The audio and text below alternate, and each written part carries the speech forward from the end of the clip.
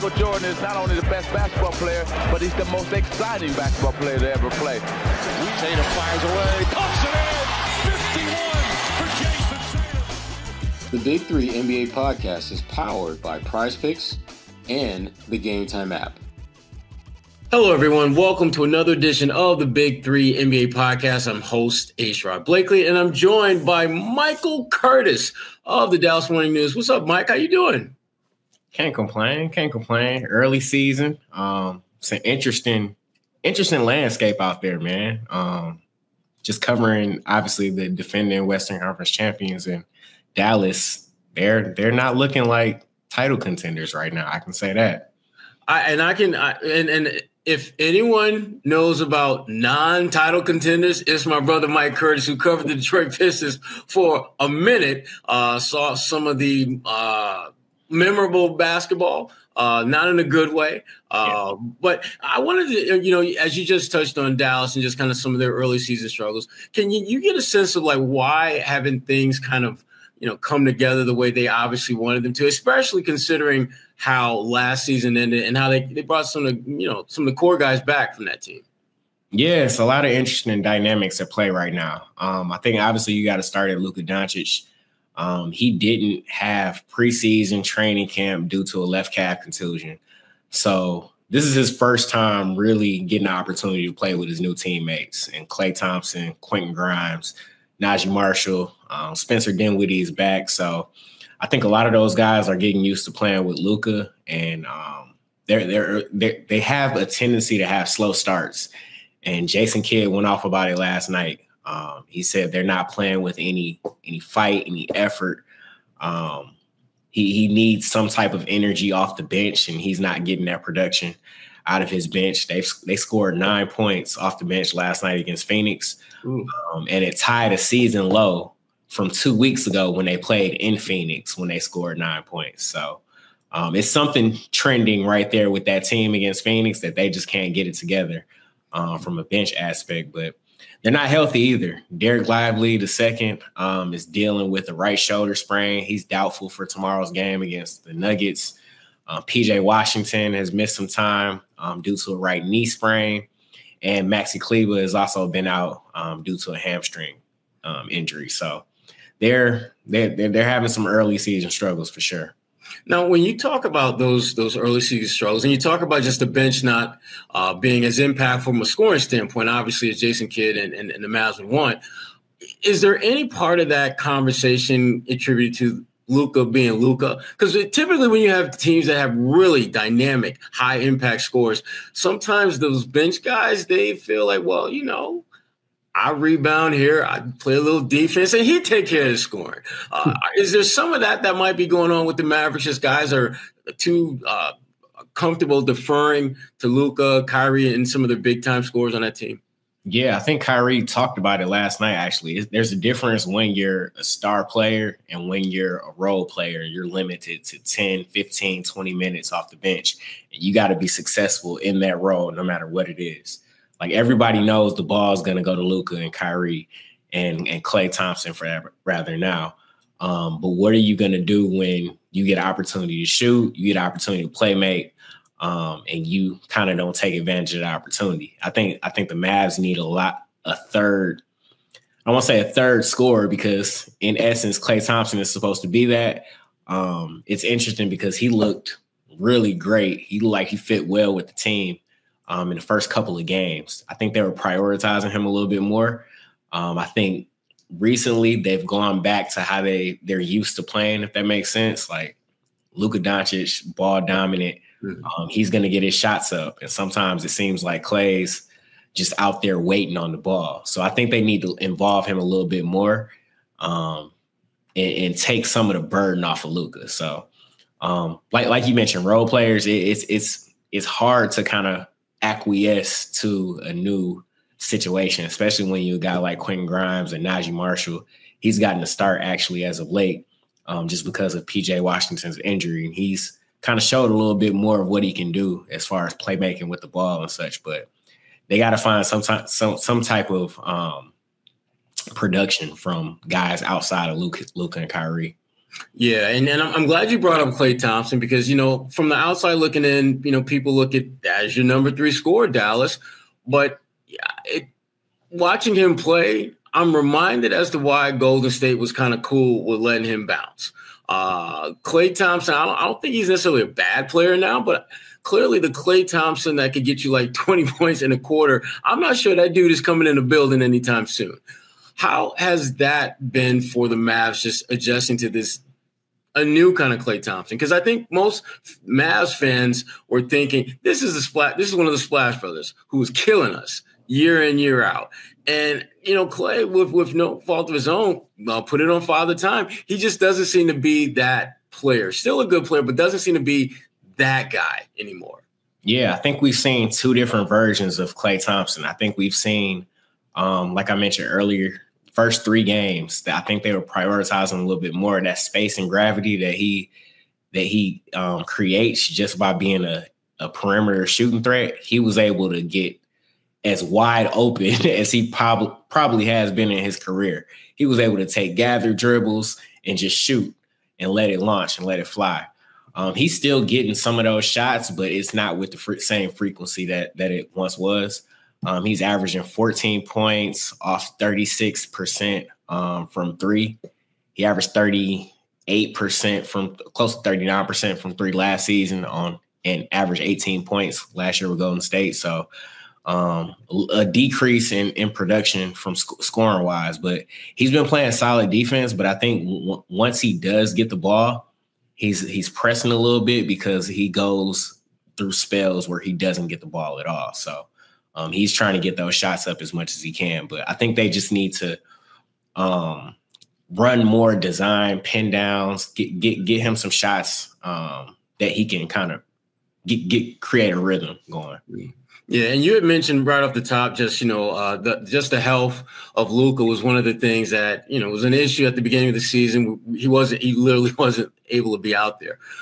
How much talk has there been about his conditioning? Because I know last season there was a lot of talk about it not being where it needed to be, uh, and it took him a while to kind of get into that that type of shape and condition to really be significantly impactful. Uh, he's always impactful, but it seems that when he's in great shape he becomes a different, much damn near unguardable player. He's damn near unguardable even when he's not in great shape.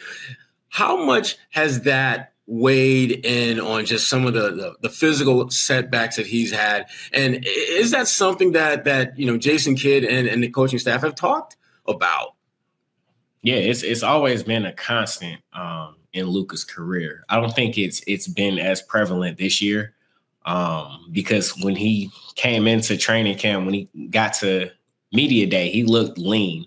He looked very much in shape. We know he was working out, um, ramping up for training camp prior to, and he also played with his national team, Slovenia, trying to qualify for the um, Olympics. So I don't think he was ever out of shape, but the injuries have set him back, and it has contributed a lot to his kind of shooting struggles uh, to start the season. He averaged a career high from three last year, and he's he's been struggling to shoot shoot the ball. Um, and I think particularly the the Mavs look a lot. The Mavs like to go to Luka a lot in the first quarter. They like to let him go, go dominate, play all twelve minutes. Um, I think that's only been the case once this this season. Mm. Um, they, they, typically like to get him going because once he gets going, he can kind of get his teammates involved. But I kind of think they need to flip the script and get everyone else involved before they go to Luka, before Luka kind of like just dominates the ball as much as he does. And the thing about it, Kyrie Irving has been been great. He's been sensational. He's shooting 50% from three um, this season. I think he'll be leaned on a lot, especially if Luka can't go tomorrow, um, because he's dealing with a left groin injury. So mm. um, it's going to be interesting to see how things pan out. But nine games in, this team isn't looking like um, the Western Conference Finals champions that they were last just a few months ago. Yeah, it's it's interesting that you you bring up Kyrie because one of the things that for those of us who've covered him before recognized him going to Dallas was that that was a situation that seemed the perfect fit for him because as long as he's there, Luka's always going to be the main draw, the main guy, the, the one that most of the pressure to win was going to fall upon his shoulders. And Kyrie was just going to be that that super powered, high impact Robin uh, to Luka's Batman. And with Luca having some of the you know physical ailments that have kind of set him back a little bit and kept him off the floor, more attention, more focus has been on Kyrie. How has he handled that for the most part, and, and just from your perspective? Yeah, he's very poised. He's very strategic in what he wants to do. Um, he's not rushing a lot of his shots. He's mm-hmm. taking his opportunities when he when he gets them. Um, he, I think he understands that with, with, the slow starts, with the shooting struggles of Luka and a lot of the other guys, that there needs to be more of a, um, I guess, emphasis on his scoring load. Mm-hmm. Um, he's averaging 23, um, 0.7, 4.8 rebounds, 4.8 assists. So 23, 5, and 5 on 50% shooting and over 50% from three.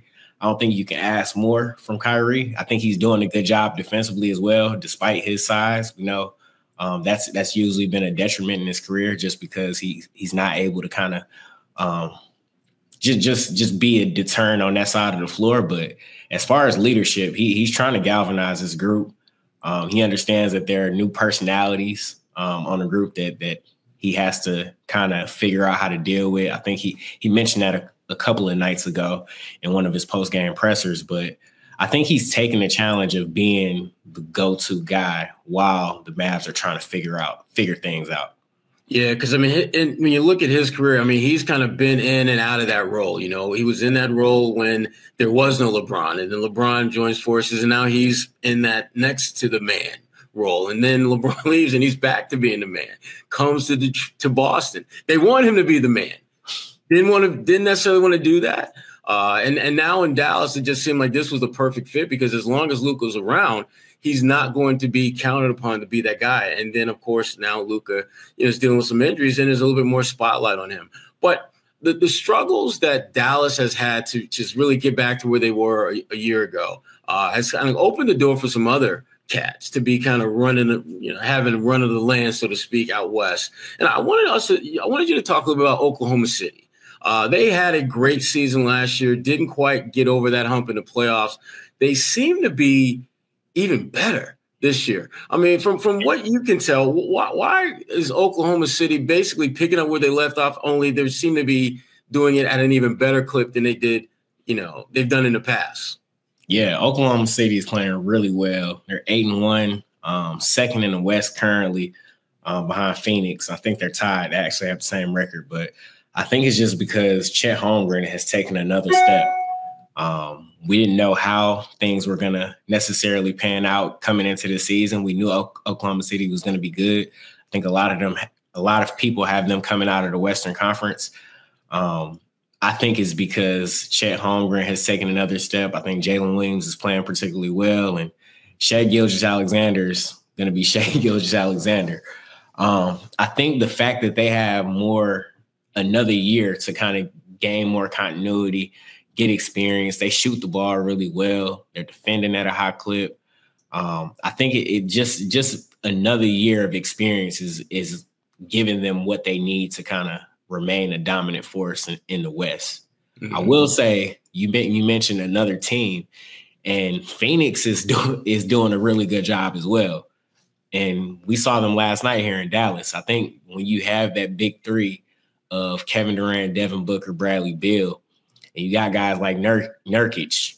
Nurkic has has taken advantage of both matchups every time he's played um, against Dallas. He's able to stretch the floor. He's able to be a bully on the inside. Um, and then you got all the role guys like Tyus Jones, Josh Okogie. Um, I think that, that that group is is is surprising a lot more people than people probably thought they were going to be.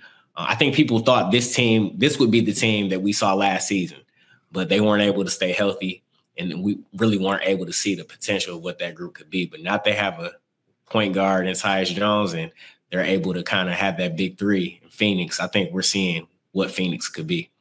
Yeah, and I'm, I'm glad you uh, pivoted to them because I, I definitely wanted to get into a little bit of Phoenix Suns talk. They are probably the big surprise of the year so far, as far as winning uh, them in Cleveland. Uh, but Phoenix specifically, you know, their their big three, you know, is just ridiculous offensive firepower.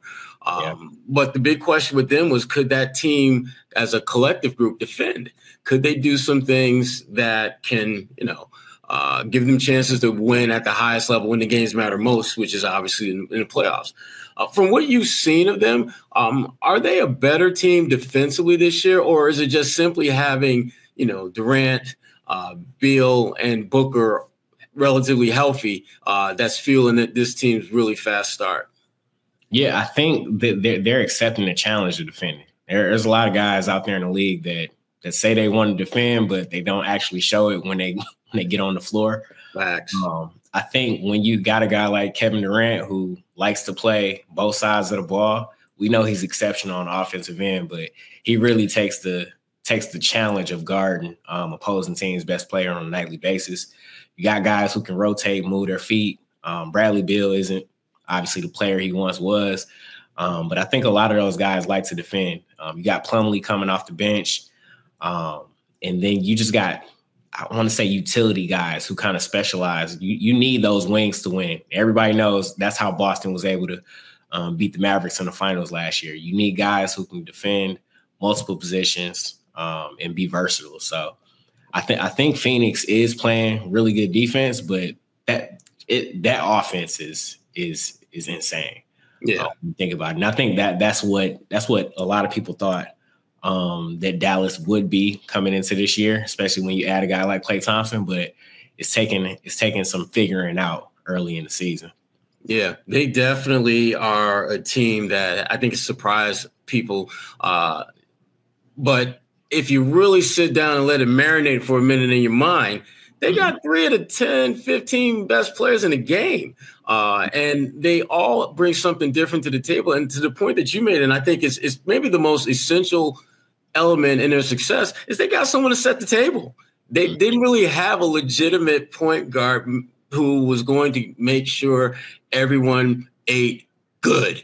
Uh, and they got that now. Uh, and, and, so that they are definitely uh, a team that I think has kind of figured out how to be the best version of themselves. And that's a little scary for the rest of the Western Conference. Prize Picks is the best place to get real money sports action. With over 10 million members and billions of dollars in awarded winnings, Prize Picks has made daily fantasy sports accessible to all. You just pick more or less on at least two players for a shot to win up to 100 times your cash. Run your game all season long on Prize Picks and do so with as little as four correct picks, picks that can get you up to 100 times your money. Prize Picks invented the flex play, which means you can still cash out if your lineup isn't perfect. You can double your money even if one of your picks doesn't hit. Sign up today and get $50 instantly when you play $5. You don't even need to win to receive the $50 bonus. It's guaranteed. Prize Picks is the best way to win real money this basketball season. Which players are going off? Which ones aren't? Make your picks in less than 60 seconds and turn your sports opinions into real money all season long on Prize Picks. Just download the app today and use code CLNS to get $50 instantly after you play your first $5 lineup. Download the app today and use the code CLNS to get $50 instantly after you play your first $5 lineup. Prize Picks, run your game. Uh, but when you look at all the different things going on out west. Uh, you look over the east, and there's a lot of familiar faces that are still, you know, kind of at, at, the head of the at head of the snake, so to speak, as far as the top teams in the Eastern Conference. And you know, we'd be remiss in not starting off talking about the Boston Celtics. Uh, yeah. There's some other teams that are at least one other team with a better record, but the Celtics are still they kind of have that. We're still the team to beat swagger. Uh, from what you've seen about them, uh, is there anything different or unique about what they're doing now, or are they just basically same old same old Celtics? I think you can say they're the same old Celtics, but I think there's a different motivation. Last year, that they wanted to get over the hump, finally win a championship after knocking on the door year after year um, this year, I think they understand that they're still the best team in the NBA, but the rest of the league has gotten better as well. But there's also been some slights towards Jayson Tatum, towards Jaylen Brown throughout the offseason that's probably motivating them a little bit more this year. And I think you see it in Jayson Tatum's play. He's playing like an MVP right now. Um, I saw that he kind of tweaked his jump shot. I'm not sure if it's reverted back to what it was, but he's shooting the ball well. And I think he, he's he's really taken this season to heart. Um, saw that he played against Golden State and he pretty much took more of a mature approach. And I think a lot of people thought that he would, um, pretty much saying it was just another game on the schedule. Um, there's no extra juice or motivation. You know, guys can say that, but they probably feel something different. um, but I, I think it, it, starts with Jayson Tatum, and and once this team gets uh, Kristaps Porzingis back, I think that's when we'll be able to see the um, Boston Celtics that we saw in the finals last year. Yeah, because I mean that, that, that, Golden State game, uh, Jaylen Brown has missed a couple of games, uh, dealing with a little minor uh, injury. Uh, I don't think Jaylen would have lied to us and said that it was just another game if he would have been able to play against Golden State. Uh, is he's the he's kind of like that straight no chaser dude. Uh, he, he kind of keeps it a hundred, uh, probably more than he probably should sometimes. But uh, they're definitely playing good basketball, and in, in, part because you know they they brought everyone back. And and the thing, the point that you made about them playing with a little extra motivation, uh, I don't think people really understand the value and importance of having a little bit more of an edge about you, uh, particularly when you're winning a championship. You look at the Denver Nuggets, you look at a lot of the more recent champs, the Milwaukee Bucks, and there's a clear and undeniable downward spiral that happens right after they win a championship. Uh, and the Celtics don't seem like they're uh, necessarily in that frame of mind. And I think in part of it, Michael, is because they still feel they got something to prove. Like Tatum's thinking, like, damn, I'm, I'm like first team All NBA, but I can't get no run in the Olympics. And Jaylen Brown's like, damn, I'm like NBA Finals MVP. I can't even be on the damn team. Finding ways to keep yourself engaged is, is really important. And one team that I think has done that even better than the Celtics this year is the Cleveland Cavaliers. Um, that was a team that when the Celtics bounced in from the playoffs a year ago, it was like, is Donovan Mitchell, you know, planning his escape route, or is is he going to stay around for the long haul? Is Evan Mobley ever going to be that dude that we all think he can be? Uh, and and you know, the Allen kid, you know, good player, but can he be that stabilizing interior force at both ends of the floor they need? And are this is this Cleveland team uh, going to be properly motivated to be the best version of themselves? Do they need to get rid of the coach, which they did, uh, and they they brought in a guy in Kenny Atkinson, who, if you look at his track record, the only thing that you can say that pretty much every team Kenny Atkins has been a part of does is they play hard. And Cleveland, they I've, I've watched him play four or five games this year. They're beating teams, but they're beating teams not only on the scoreboard but also with effort. Have they, Michael, from what you've seen, been been a bit of a surprise that they played as well? You figured they played pretty good, but are you surprised that they played as well as they have thus far this year? I am. I am. I think when we think of Cleveland, we always think of them as that fourth, fifth, maybe even sixth best team in the in the Eastern Conference. Mm-hmm. You everybody all automatically assumes it's going to be Boston, New York, Milwaukee, Philly, and then you throw Cleveland in somewhere after there. I think that Donovan Mitchell, um, coming off that extension, he he he's on a mission as well. Yeah. yeah, it's a lot of guys who who play to a certain level before they get their money. Mm-hmm. But I think now that Donovan has secured the bag, he, he he's showing why he was worth that money. Mm-hmm. Um, and then you you, you got to throw in Darius Garland too. I, th- I, think a lot of people didn't question their fit. Um, are they are they gonna gonna work well together? Can they coexist? They both need the ball. Um, I think Darius Garland is playing with a re-energized, um, I guess, amount of effort and spirit coming into this season. And like you mentioned, they're beating teams and they're blowing them out. They got a lot of quality wins. They beat the Warriors recently. I think that was their last game. They beat the Knicks earlier this year. They beat the Bucks twice in a row. Um, that's another um, case that's mm-hmm. kind of interesting this season. But yeah, the Cavaliers look good. They're 10 and 0, undefeated. They're clearly playing like the best team in the NBA right now. Um, one thing I'm interested in seeing is is how long can they sustain this level of play? Right a lot of a lot of times you see teams um, get off to fast starts and somewhere down the line they fizzle out. Um, can this team stay healthy? Can this team stay motivated? And can this team continue to shoot the ball like they've been shooting? Yeah, you you you touched on a second ago the other team that has stood out for frankly, all the wrong reasons, the Milwaukee Bucks. Uh, question to you is which has been the biggest surprise, Cleveland's success or Milwaukee's struggles? Milwaukee struggles. I think a lot of people thought that another a full season with Damian Lillard and Giannis um, would kind of help coming into this season, and that hasn't been the case. I'm pretty sure a lot of people saw the clips going around about Giannis this morning. He's he's he's he's he pretty much said if, if you don't want to be here, um, you can leave. We don't know who, who that was directed towards. We don't know if that was in just just towards media for he was talking off camera, but that was interesting in, in itself. So that, that kind of tells you where things are. You, you listen, the the, it, the the temperature in that locker room now is a little high. Uh, and folks are starting to get a little hot. And whenever that happens, something has to change dramatically for them to, to get out of this malaise they're in. Uh, whether it's a lineup change, uh, I don't think it's going to be a coaching change. Uh, I'm pretty damn sure it's not going to be a coaching change, especially when you look at the coaching change they made when they brought Doc in. Uh, there's still there's still a lot of people in the NBA that I know and, and talk to who you know still kind of get a side eye to the Bucks for doing that because it's like not the guy that you had before was winning. He have they but Milwaukee had one of the best records in the NBA, not just you know in the East, in the NBA. And you cut him loose to bring in Doc, and they basically been a 500 s team since. Uh, and and that's it, it, it's telling. It's it's telling that uh, Milwaukee is in the state that they're in. When you think about you know they put themselves here. Like literally, you put yourselves in this position to, to struggle the way you have when you decided to make a change in leadership. Uh, and I love Doc Rivers. Doc is one of my favorite coaches in the game. But I would, I can understand why if you're a fan, you're thinking like, "Damn, Doc, seriously."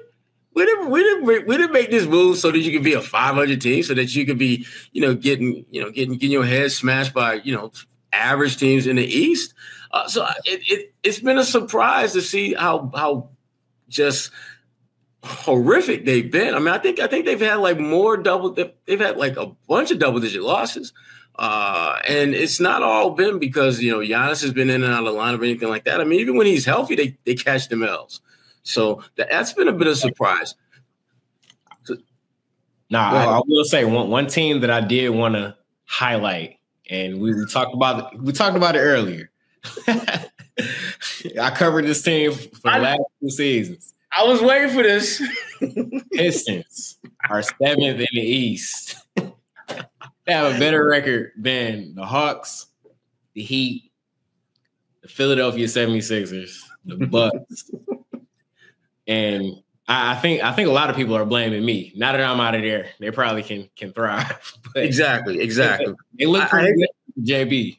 Yeah, I, I, hate I hate to break it to him, but uh, they were kind of trashing it out the place before you showed up on the scene.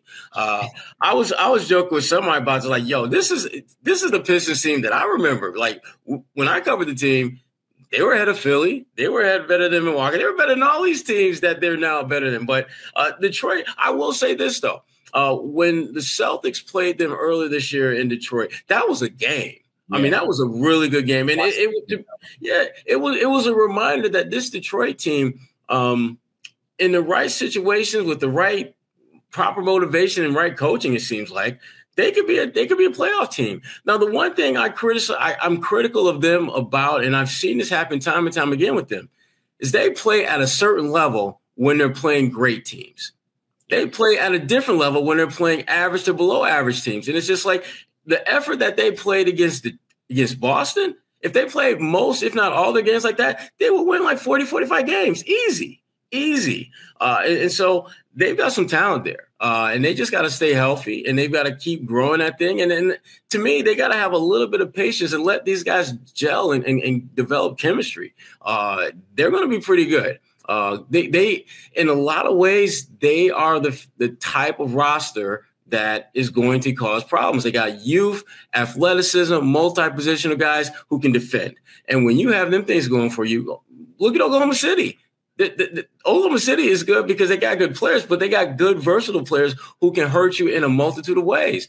I mean, Chet can go out and get you 20 and 10. He can also alter or block four or five shots a game, too. And next thing you know, you know, if those nights where he's not scoring, he's still impacting the game.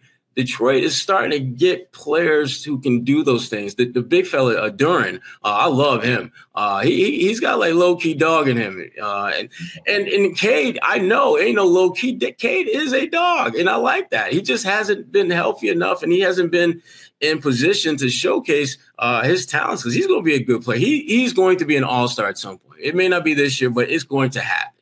Uh, he's triple doubles too.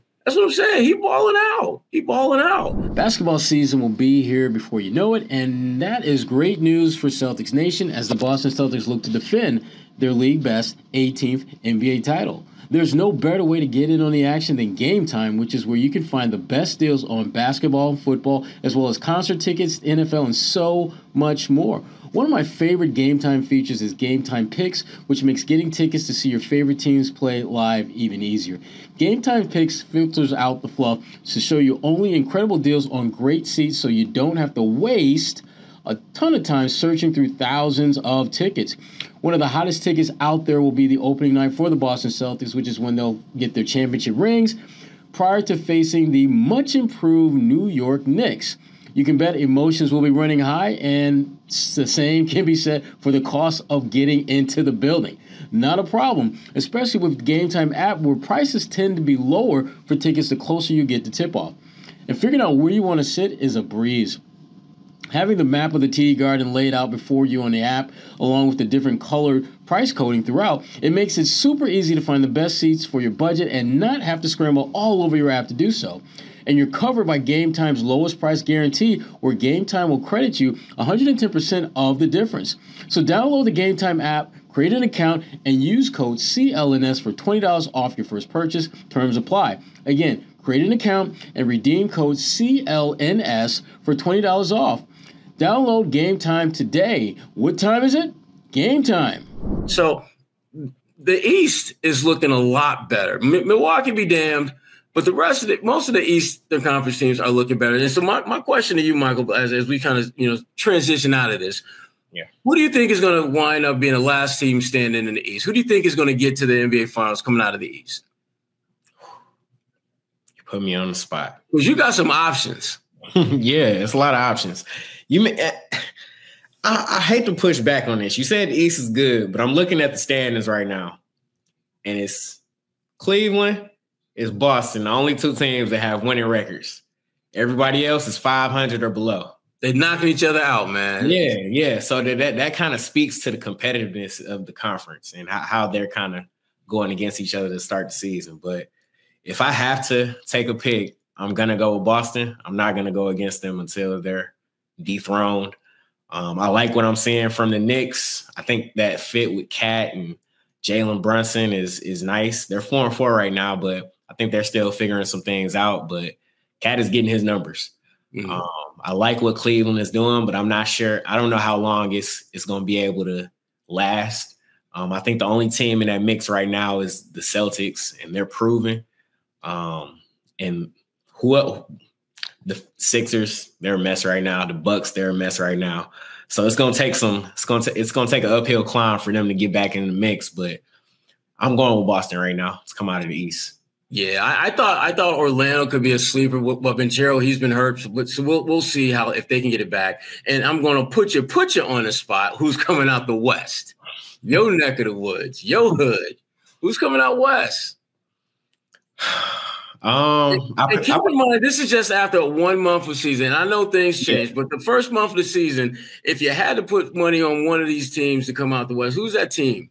Yeah, I, I, I wrote in my preview. Um, I had the Mavs and the OKC Thunder in the Western Conference Finals. I had the Thunder going to the finals, and I'm not gonna go away from that now. Um, after a month, um, I'm gonna go with the Thunder.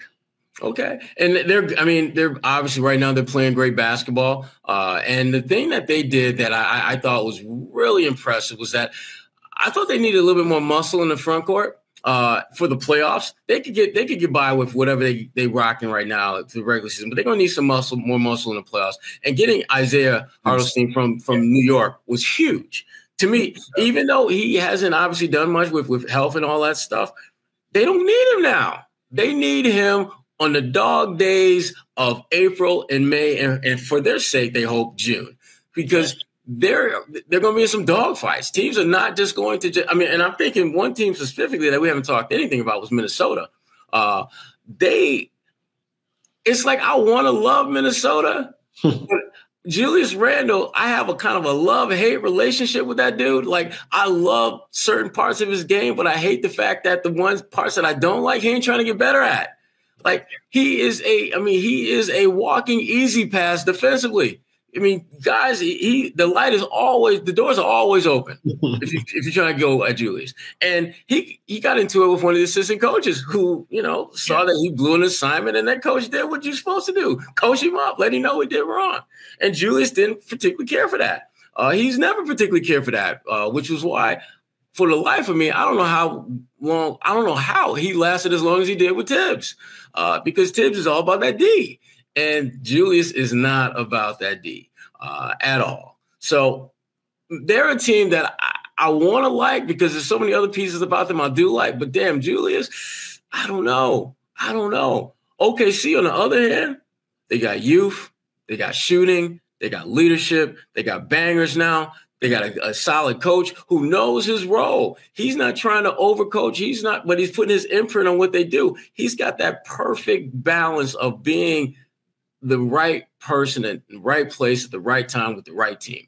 Um, I got OKC coming out west too, and I, I got to be an OKC in Boston uh, in the finals. Uh, and and again, I, I, haven't picked the winner yet because it's too damn early to pick a winner. Yeah. But I do know this though, I like the fact that both of those teams are going to be significantly challenged. Uh, both of those teams have multiple teams in their respective conferences that are going to push them to be better. Uh, OKC is not going to walk just run away with that thing. Minnesota going to have something to say about that. Phoenix they're going to have something to say about that. Dallas going to have something to say about it before all is said and done. And in the East, you know the Celtics, yeah, they're, they're the champs, but Cleveland is like, yo, we ain't scared of y'all. The Knicks are like, yo, we yes, y'all, y'all, y'all smash us real good on opening night, but we ain't afraid of y'all either. And Philadelphia will continue to tell themselves, as soon as we get Joel back, as soon as we get PG back, we're gonna be all right. Uh, so we just kind of let them stay in, in that dream state and, and, keep feeling good about themselves like that. But there are multiple teams that it, whoever emerges uh, from the East and the West, you will not. There, there are, there are no cakewalks. Uh, there just aren't. Uh, people thought that you know when the Celtics got to the finals last year that they, they got a bunch of breaks, but the thing is this: you still got winning games. I mean, it's, it's not like just because you on paper are better than the team, that means you're going to win the game by 10, 15 points. No, you still got to play the game. Uh, and, and so I, I just I look at both the East and West as though whoever emerges, you you can't just play the game. You got to play the game well in order to win. Uh, and even though Dallas is like hovering around 500, look, as long as you got somebody like like Luka and Kyrie in the mix and Klay Thompson, we all know Klay can get it going at any given moment. Uh, yeah. He can easily score like 20 points in a quarter, score 20 points and a half. And next thing you know, in a playoff situation, to have a guy that has that type of instant elite offense in his bag, yeah. That could be the difference between you getting out of the first and second round. That could be the difference between you getting back to the final or getting bounced in the first round. So yeah, it's not about November. At the end of the day, when it comes to these teams that we're talking about, it's all about April, May, and June. Yeah, and the teams, yeah. I mean, to your point, teams like Oklahoma City and Minnesota, they need those months leading up to it in order to get confidence, and as you pointed out earlier, to just kind of develop consistency. But once they've already done that, OKC is like, okay, let's just you know do what we need to do between now and like April, and come April, let's fire it up, let's go. Uh, so it's this has been a fun start for me to the league uh, yeah. it seems like everyone is either balling out or getting balled on badly. Uh, like Milwaukee, again, probably the biggest disappointment in the NBA so far this season. Uh, whenever you whenever you are in the standings and Detroit is looking down on you, because because like about a week, week less than a week ago, and I was looking at the standings, and you know you just kind of you, skimming the teams at the top, and you get to the bottom, like oh damn Detroit got three wins. Milwaukee's got like one or, at one or two wins. I'm like, damn, that's when you know. And one, one thing I'm gonna be looking out for, especially like over the last three weeks, obviously we seeing how the standings are shaping out, but the the in season tournament is about to start and competition is about to take an uptick. I'm not sure how you feel about the in season tournament, but I, I, I like the competition aspect of it. Well, I, I, like the concept. It's a it's a concept that I can get behind, but when the team that wins the championship, they don't even make the damn playoffs. It's just like it's kind of like winning the preseason NIT and you don't get to the NCAA tournament. It's yeah. like okay, you got that nice preseason NIT chip. That's nice. Put a banner up if you want. But the banner mean in, yeah, what does it mean in the grand scheme of things? I, I think this year though, I think the team that comes out as the winner is probably going to be one of the better teams. Like I look, I absolutely expect like Boston, Oklahoma City, uh, Dallas, Minnesota, Cleveland. I expect one of those five, one of those top six teams to be the winner. Uh, I don't think you'll see a thing like last year where, you know, LeBron, well, of course, you know, LeBron going to be LeBron, uh, want to be first at everything, uh, but realize that, man, I guess when the NC term really don't mean a whole lot in the grand scheme of things.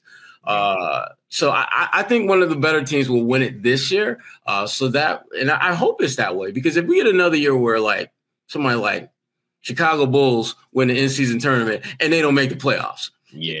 then the, then that tournament lose it loses even more credibility and, and, and it gets the side eye from everyone uh, because it's like, hey, let's get ready for the in season tournament. Be like, what? And get ready to not make the playoffs? Hell no. Yeah. Nah. So we'll see. We'll see. Well, listen, uh, this has been good catching up with you, brother. This has been really, really good. Uh, Michael. Curtis, let, let the folks know where they can find your copy at and, and, and, all the, the musings that you have on the NBA and the Dallas Mavericks. Yeah, you can find everything I write, dallasnews.com. Um, I'm on Twitter slash X at Mike A. Curtis 2. And it's always fun chopping up with you, man. Absolutely, absolutely. Michael Curtis of the Dallas Morning News. Uh, this is the Big Three NBA podcast. Thanks for tuning out. Catch it on all your podcasting apps. Download it, leave a review, five preferable if you don't mind. Uh, much love to everyone. And again, uh, enjoy the rest of your weekend and week, and we will see you around soon. Take care, folks.